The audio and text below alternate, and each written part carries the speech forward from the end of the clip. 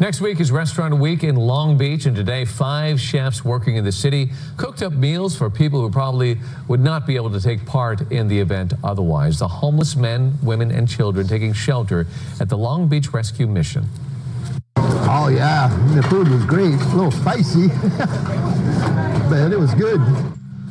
The chefs cooked up five courses for 250 people, including the residents and staff of the mission, uh-huh. as well as people still living on the streets in Long Beach. Hmm.